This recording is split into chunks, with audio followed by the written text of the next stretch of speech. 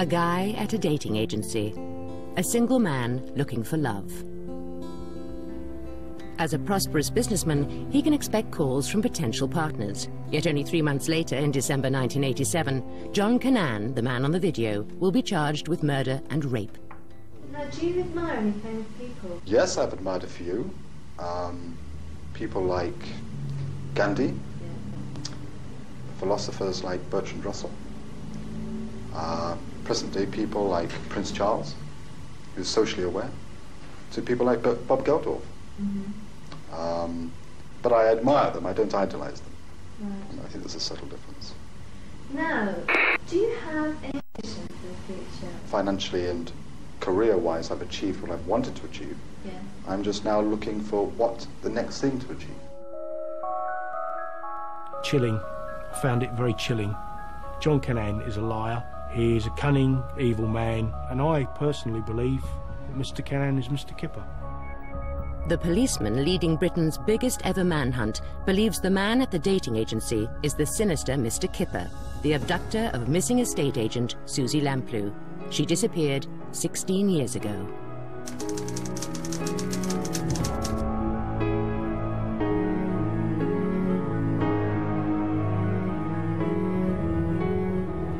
You know, you don't take enough photographs of people, and particularly when something awful happens to them.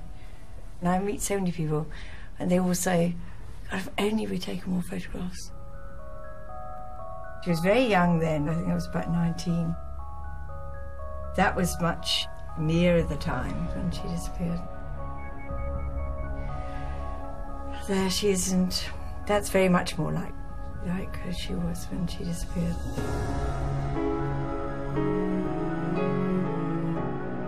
We had a photograph taken together and it was the last time we ever did. And she uh, almost like a ghost behind me, really, holding me, and I always feel that that's probably what she is a ghost.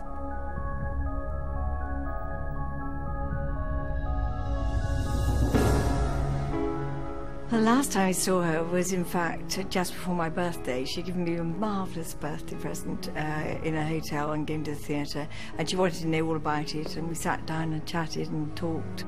She was doing such a lot of things, and she'd had a wonderful time uh, windsurfing.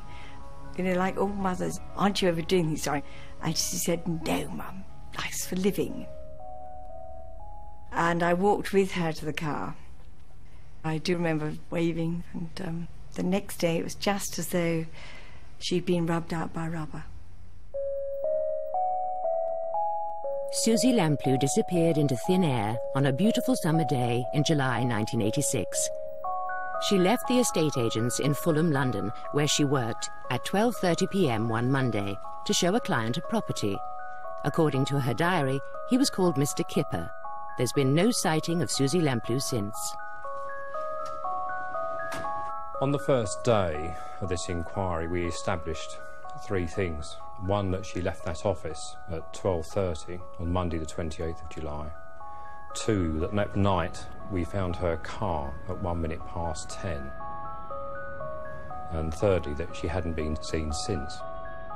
They are the only three things that we actually know. Despite the enormous amount of work that's been carried out, the thousands upon thousands of phone calls that have been made. Tiny fragments of information about a man who might have been with Susie that day have emerged. At the sinister-looking house that Susie was trying to sell in Fulham, number 37 Shorrolds Road, came the first sighting.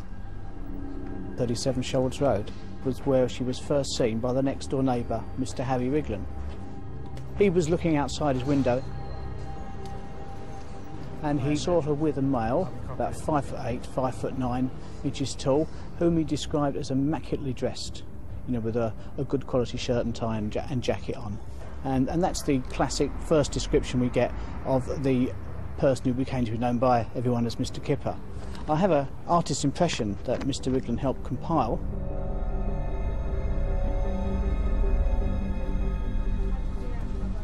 Another witness saw Susie in Shorrolds Road that lunchtime with a mysterious Mr. Kipper.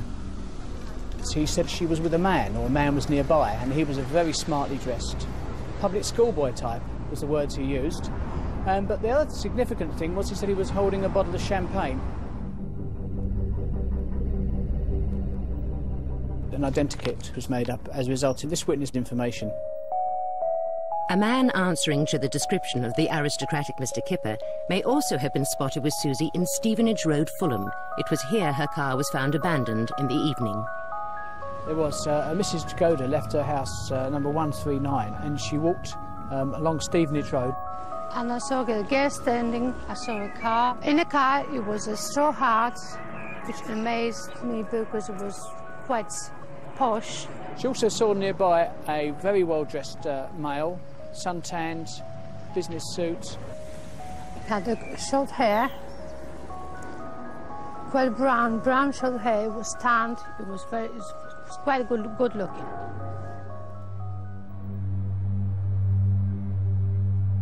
Susie's mysterious disappearance without trace in 1986 began 16 years of torment for Diana and Paul Lamplugh. Always in the background of their vigil has been the publicity from a clamorous and excited media that has helped keep Susie's memory and her case alive.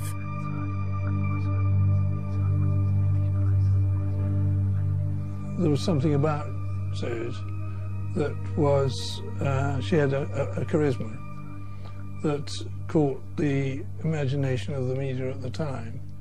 We've kept cuttings ever since she, she disappeared. I think we've probably got every single cutting that, that, that there was. We've got about 20 volumes. And there must be, I don't know, a thousand or two cuttings. Staggering thing is that even 14 years on, she's still able to grab the headlines.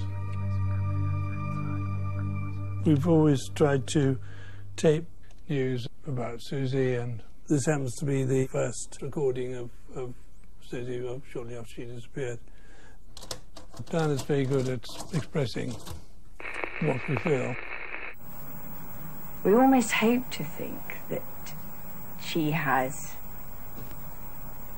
is somewhere with somebody who has abducted her and that he will let her free We, and we- that we'll find her.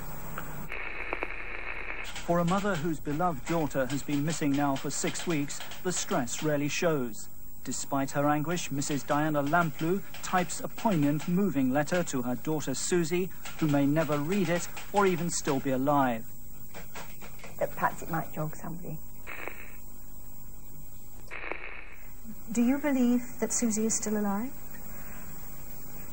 I don't expect to hear a phone call now, no.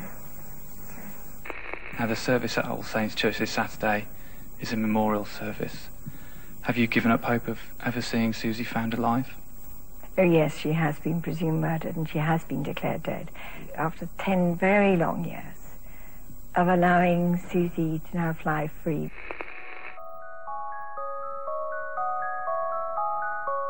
Next, police make the first tentative link between the man on the dating agency video and Susie Lamplugh.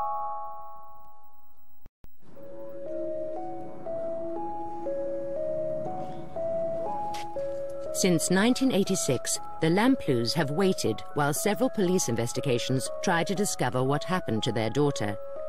But there's still no trace of Susie, and for years, the elusive Mr. Kipper appeared to have slipped the net. Now, 16 years on, it appears the original police investigation may have been flawed.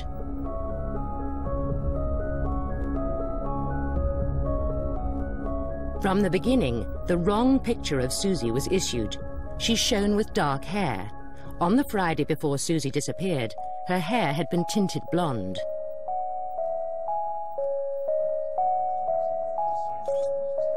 The police weren't helped by the huge media interest in Susie's case. In 1986, they could barely cope with possible leads that poured in from the general public. People rang up and phoned, wrote letters to us um, suggesting possible suspects. Um, and all these you couldn't ignore. Even 16 years after Susie disappeared, the Lamplugh family are still bombarded with letters from the public claiming to know her whereabouts. Oh, we get letters all the time. We still do. We've had thousands altogether. This one I didn't like. It, it's saying I'm writing to you basically to give you advance warning of the capture of your daughter's killer. They they might be right, and that's where one, one has to read them. And we've now handed them all over to the police. At the beginning of the investigation, the police put all their leads onto an old-fashioned card index system. In the first year alone, the police were handling an amazing 26,000 cards without computers. We used a manual system to record our data. There's nothing wrong with that system. Everybody knew it, everybody understood it, and everybody could access it, and it worked for us. From the beginning, Susie was treated by the police as a missing person, so known criminals were not at the top of the investigation list.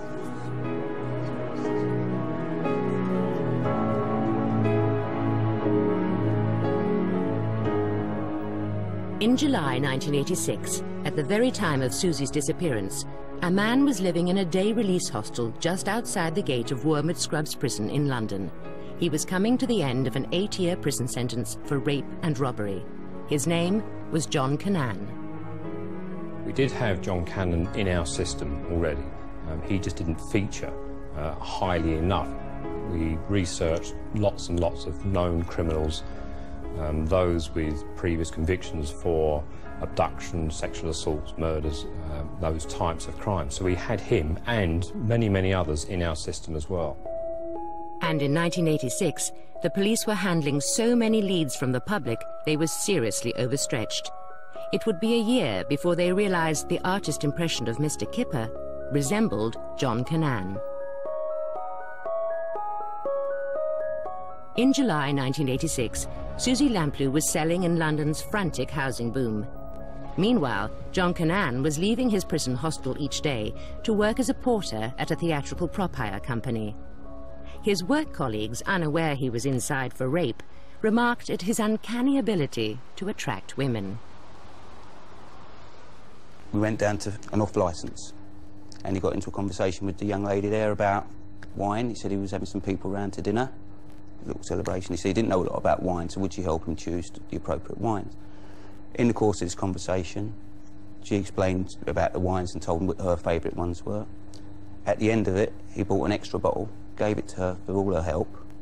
She seemed quite grateful. Went back there the next week, asked her for a date. She was there. He got straight away. Some work colleagues of John Cannan uh, uh, and inmates um, recollect him saying that he would go to the wine bars in Fulham, that he had met a girl down there. Um, he was interested in buying uh, a property in the Fulham area. Unaccountably, Cannan also had access to an expensive car while he was at the prison hostel. I believe he had access to BMWs. It was his preferred mode of transport, and I believe at the time of Susie's abduction and murder that he had access to a BMW. His work colleagues would have known nothing about the much darker side of John Cannan's life. Born in 1954 into a middle-class family in Sutton Coldfield, near Birmingham, Cannan appeared to have everything going for him when he attended the local grammar school. But at the age of 14, he was convicted of a sex attack in a phone box in Erdington, part of Birmingham. Cannan's family was devastated. After leaving school, he became a second-hand car salesman with this company in Birmingham. He even earned the title Billy Liar from his fellow salesmen for his deviousness. In May 1978, Cannan married June Vale at a church wedding in Birmingham. He appeared handsome and charming on his wedding day. Perhaps he changed.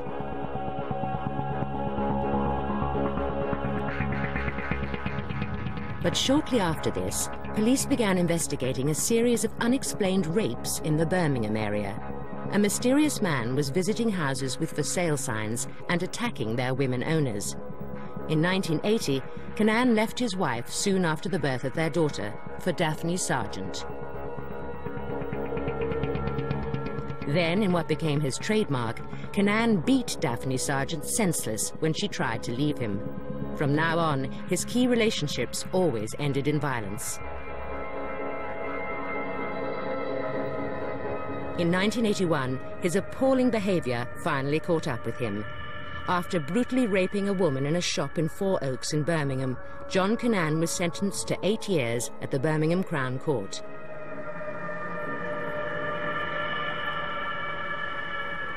He served most of this sentence at Horfield Prison in Bristol before he was moved to the day release hostel at Wormwood Scrubs in London.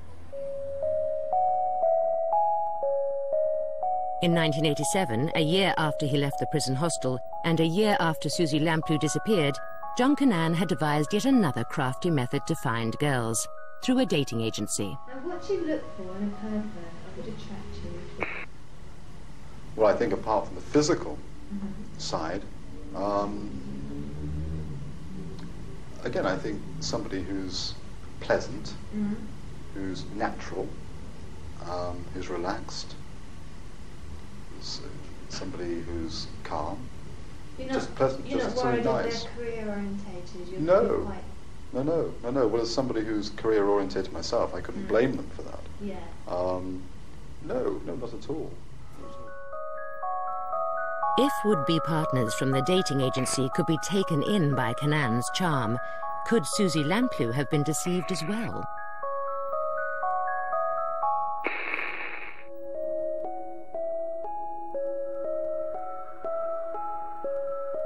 In the dark days following the disappearance of Susie Lamplugh in July 1986, the identity of Mr. Kipper was still a mystery.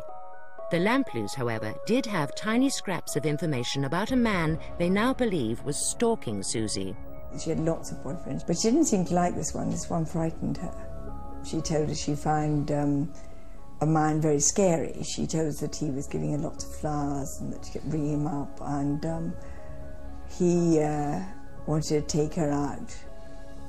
And I said, um, really, do you think that's wise? Because won't it escalate? And she said, no, Mum, I can cope. And, and I think that the likelihood is that she was a uh, victim of somebody who was a serial stalker. In those And we had, days, unfortunately, she gave us no information which to, to identify anybody. And uh, we didn't, we, um, I mean, obviously, we now wish that she had. And Susie's uncle, Mark Howell, remembers a conversation he had with Susie shortly before she disappeared.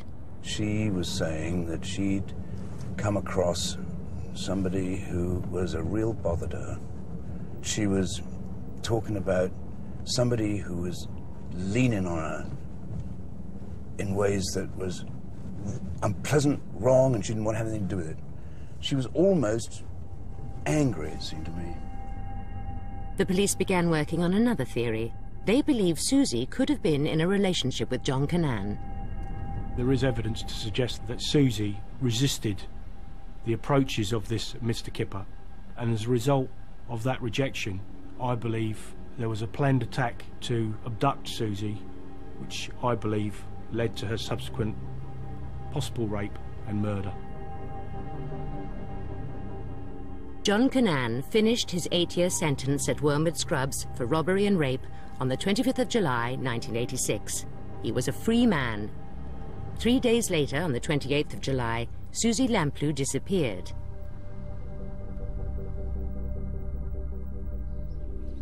Then John Cannan moved to Bristol and rented a flat near the Avon Bridge. John Cannan was putting himself up as a, a businessman from the Bristol area. Um, why Bristol, uh, I, I don't know, but certainly he was telling people um, that he was a Bristol businessman. Cannan brought several girlfriends to dine with him at the Avon Gorge Hotel, and it was also here that he met and began a relationship with ice skating star Gilly Page. Later, she would become important to the Susie Lamplugh investigation. He would pick women up by using a charm that he had. He did have a certain charm about him.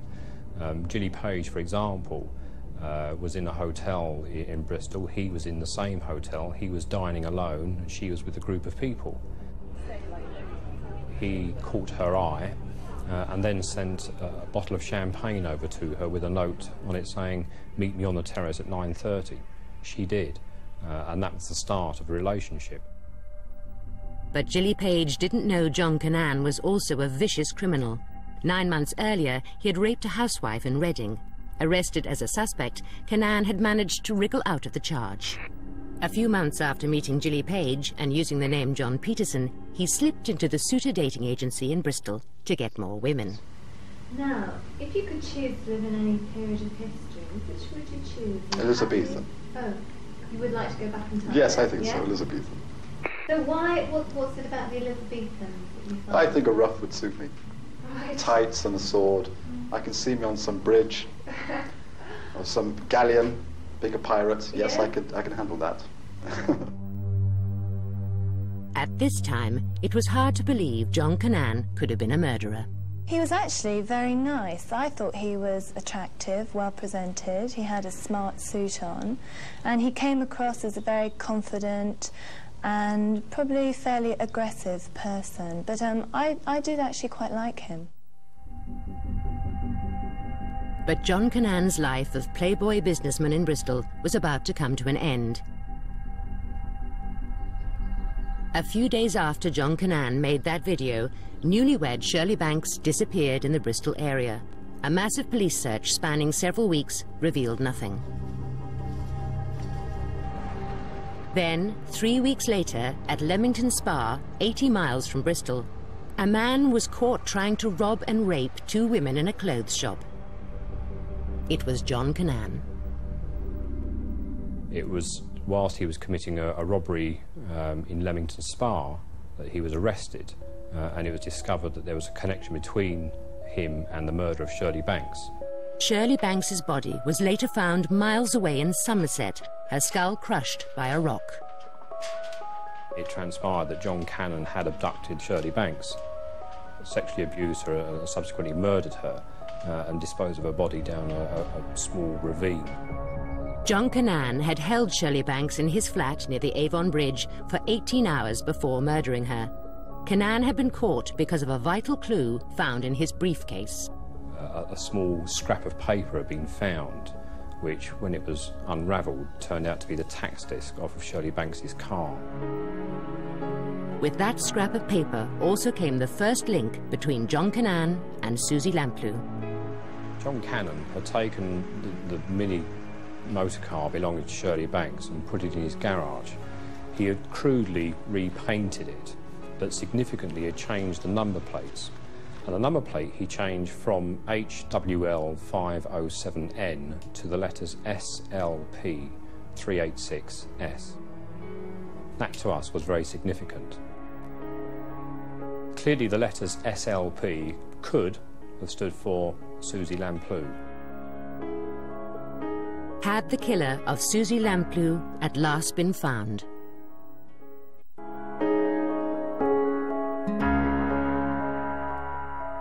In 1987, there was no direct computer link between police in Bristol, handling the Shirley Banks case, and the Met in London.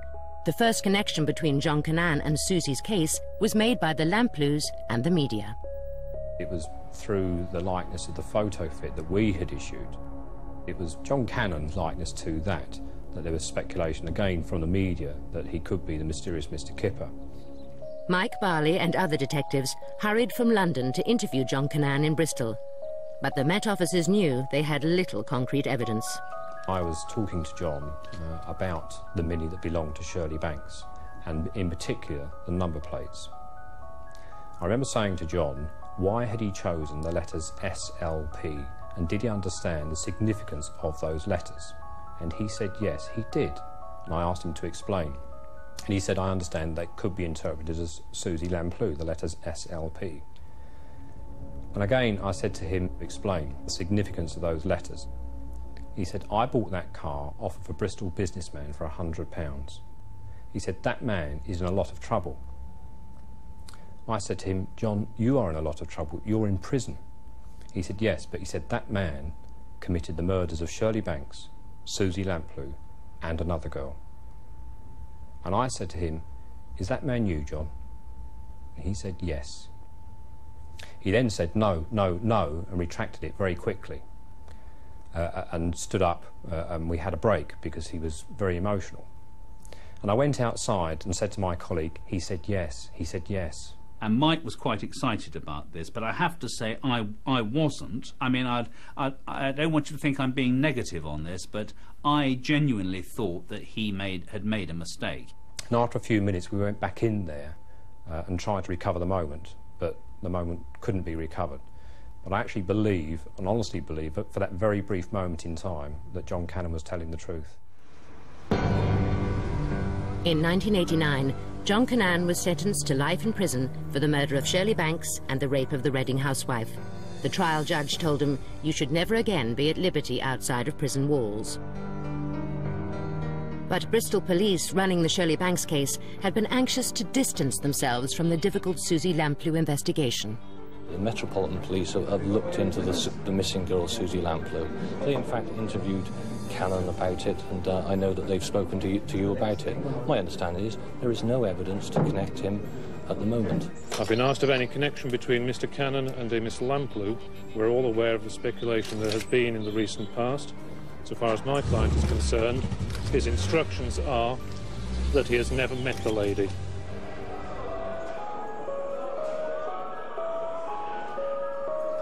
They had only circumstantial evidence, but the Metropolitan Police continued with their attempts to get Cannan to confess in prison. It turned into a battle of wits. John Cannan was very experienced at being interviewed um, by police, clearly because he'd been arrested many, many times during the course of his life, and knew how to turn uh, an interview. He made sure he found out the, the Christian name of the interviewing officer, the detective chief, and kept calling him by his Christian name. So he would use any chance that he could to turn the interview around. In one interview, for instance, tea was served, and he took charge of serving tea. And of course, in asking whether sugar was needed by either of the interviewers, and one said yes, he gets the conversation to a personal level by saying things like, you don't look like you're the sort of person that needs sugar, you're not overweight. It put the in interviewing officer at a disadvantage. And also, Cannan kept asking him questions, which he then started answering. And there was one point where he was actually having to defend the way he'd been conducting his investigation.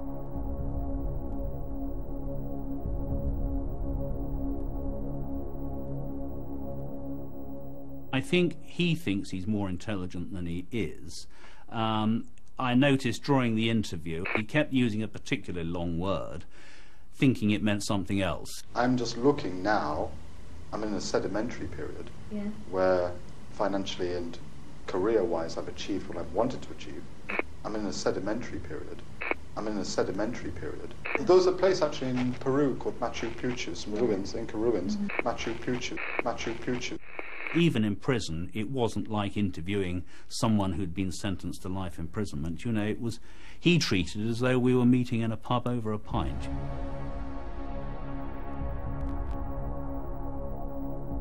Psychiatrists have had a look at John Cannan, um, and one of them quite poignantly said to me that this is a man who can dispose of a human life with as much emotion as you and I throw away a toffee wrapper.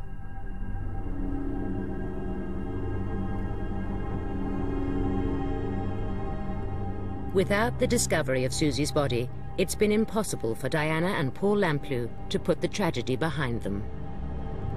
We've been all through telephone calls with people saying, um, by the way, uh, we have a corpse here. Has your daughter got uh, gold teeth? And then we've had another one saying, um, we've got parts of her body here skinned. Uh, how long were her legs? That's very tough.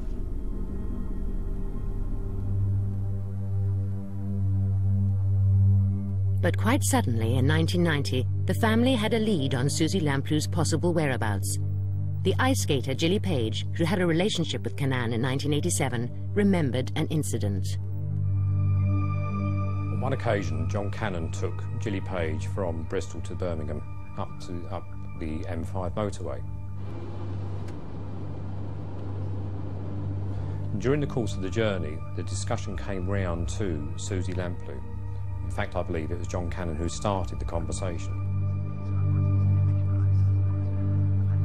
They were driving in the area of Norton Barracks uh, and he pulled in on the side of the road and he gestured into the into an area and said, "Oh, that's where Susie Lamplugh is buried, or, or words to that effect.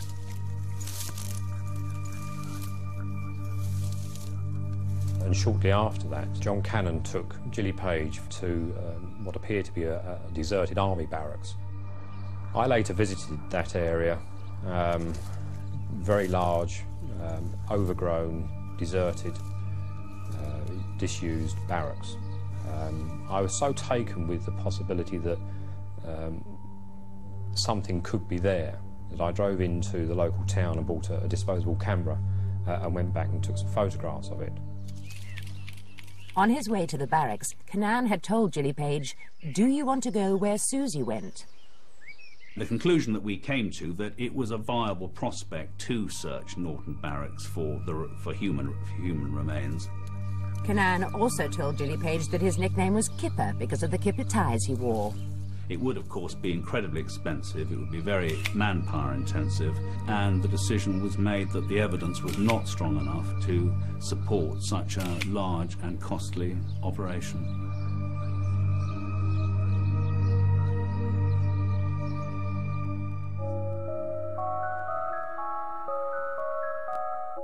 With no confession from the imprisoned John Cannan, and without Suzy's body as evidence, the police by 1990 were no further forward. Apart from the extraordinary coincidence of the Mini's number plates, the case was going nowhere. During the 1990s, the Suzy Lamplugh investigation slowly wound down. But if the police had almost given up, the Lamplugh family hadn't. I was trapped, and that adds up to a huge energy which is not expended. I, I really can't describe the adrenaline which rushes through you. And that adrenaline's there to go out and find your child. You want to get out there, you want to shout, you want to scream. Frustrated at the lack of progress in the investigation, Suzy's family had channeled their energies instead into setting up the Suzy Lamplugh Trust. And we've got a letter from Lamplugh Trust and they're only quoting 30 people Good morning, Suzy. Lamplugh Trust. This is a national organisation born out of their own loss that campaigns for a safer society. As a result of what happened to Suzy, the Trust campaigns to reduce violence against individuals at home and at work.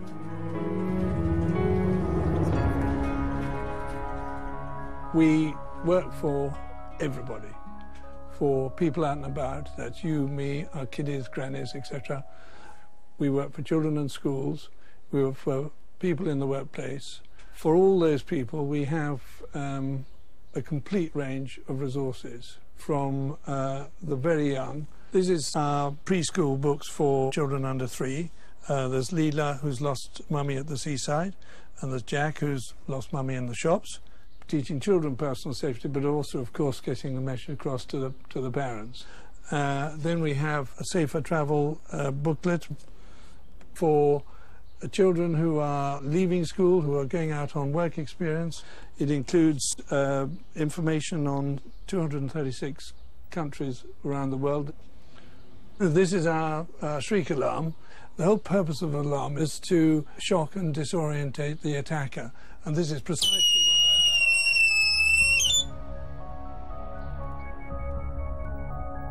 The trust is a legacy for Suzy. I think it's a quite remarkable legacy. So many people want to do something that is positive after something awful happens. And this was real. We found then education needed help. We looked at transport and that needed a huge amount of help. I do a lot of work on the trains now and the more you looked at it, the more you realised that we'd unearthed something enormous. Over the years, the Trust has helped shape new legislation on safety in this country. It looks as though it's moving forward very slowly. We put a huge amount of work into uh, stalking and the work to be done there. There's a lot on sex offenders and young girls who are actually abused, sexually abused, or boys who are sexually abused. The thought of why one's doing it undoubtedly drives one along certainly what drives us both along is that in some funny way we're sort of doing it for Suzy. Um, and that does energize one enormously. Next, the clues that lead the police to look for Suzy's body.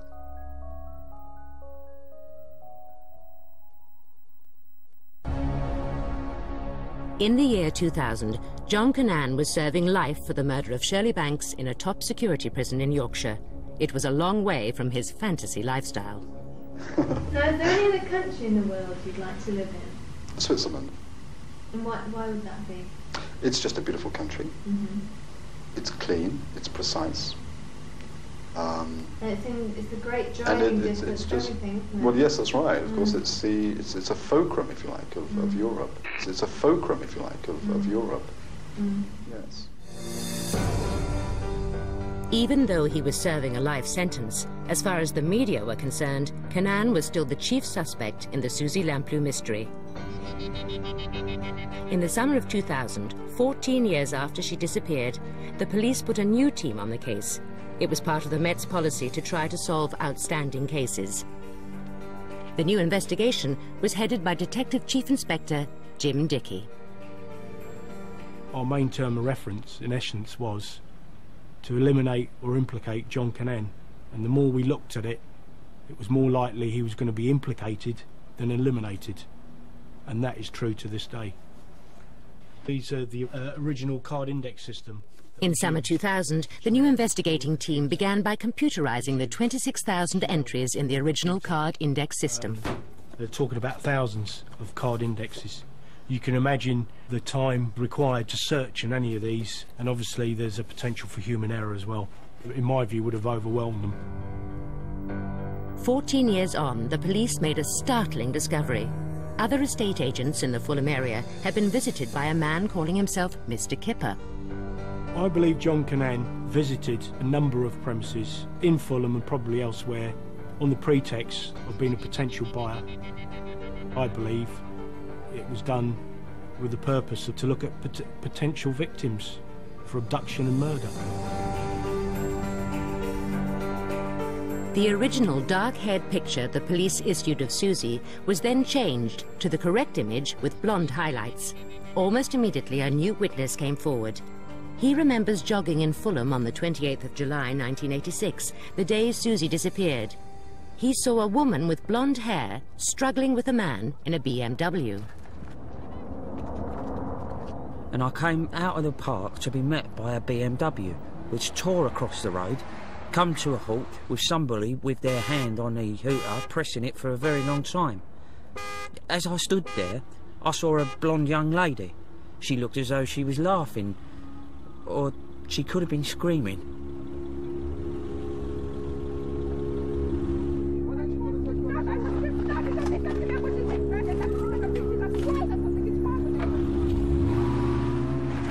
Worried me, you know, was how could she drive with what was going on? Well, it never occurred to me that it was a left-hand drive car. Although the police searched for years, they never traced that BMW. The jogger had provided good circumstantial evidence, but it was still not strong enough to prove John Cannan was the man who had abducted and murdered Suzy Lamplugh. So next, a decision was made to search for Suzy's body. Chief Inspector Jim Dickie hoped this would yield a DNA link to Cannan. The police began looking at Norton Barracks, first named 10 years earlier by ice skater Gilly Page. It was the area detectives Barley and Addy had once suggested was worth searching. Well, it's, it's an experience which I'm not exactly looking forward to. I mean, I, I know she's dead. I know she was dead long ago. I don't exactly relish finding out what precisely happened. we might very much, we might feel that we were very relieved and we might feel that it was very nice to be able to put Suzy to sleep. The team faced the costly task of searching a huge area for a body buried years earlier. The latest police technology, satellite imaging, could in theory show heat from remains or earth disturbances in the ground from 14 years earlier. They began a huge five-day search in December 2000.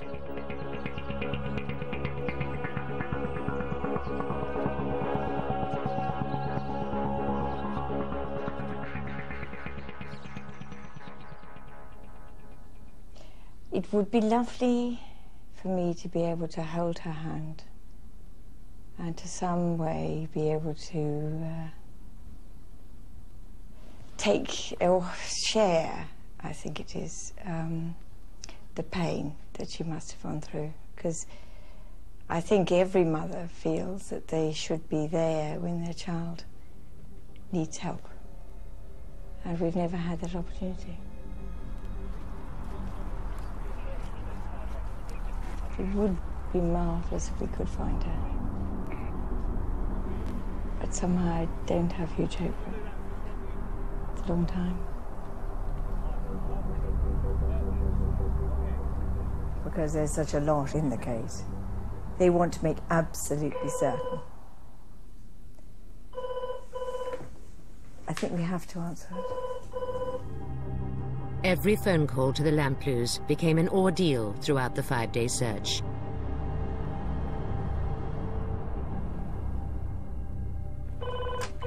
Paul Lamplugh? Hi. And how's it going down there? Otherwise? Wet everywhere, yeah. They haven't found anything. Uh, and they haven't found anything of significance. Uh, it's very wet. Uh, they had to dig trenches to uh, drain the land off before they could work. And they dig this by hand. 30 people working there. To be honest, I think they're not tremendously optimistic about finding anything.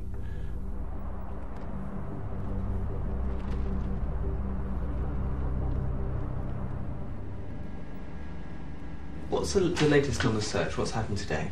Well, the search is now finished. Uh, they've done everything they possibly could, and they haven't found her. Um, I would be amazed if they could do after such a length of time. I hadn't realised quite how disappointed I was until I got a phone call this morning, and I didn't realise how much inside me I was actually hoping.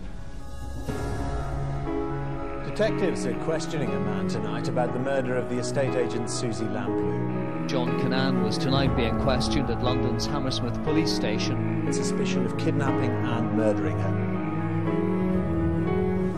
In December 2000, John Cannan was brought from his prison cell to face an exhaustive series of new police interrogations in London. Detective Inspector Stuart Alt did the questioning. John Cannan was certainly not the John Cannan that I had seen having viewed the dating agency video.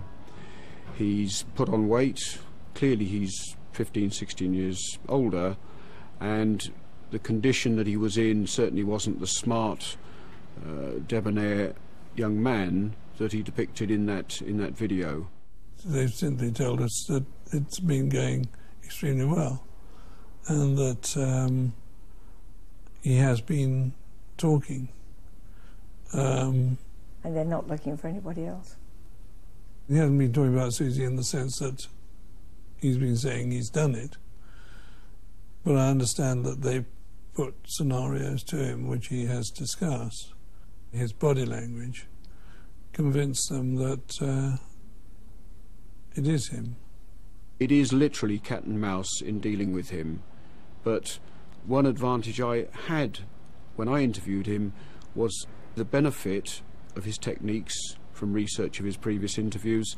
But if Mr. Cannan wishes to protest his innocence both for Suzy Lamplugh and Shirley Banks, we may draw a parallel between those two. We know he's abducted and murdered Shirley Banks, he stands convicted, and I feel that is the same for Suzy Lamplugh. They're going to search uh, two other places. There's a place where Shirley Banks was uh, thrown, and um, there's uh, another place which we don't know yet. When John Cannan murdered Shirley Banks in 1987, he disposed of her body in a remote area in Somerset, aptly named Dead Woman's Ditch. In May of 2001, it became the focus of another search, this time for Suzy Lamplugh. The police were exploring a new theory based on the figures in the new number plate Cannan had fabricated for Shirley Banks' Mini, SLP 386S. It could mean Suzy Lamplugh, the third victim of that year. It could also mean an Ordnance Survey grid reference.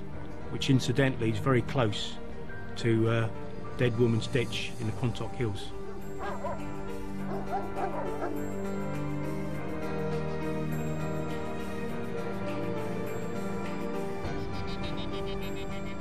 But in spite of another massive and costly effort, the Metropolitan Police search team found nothing.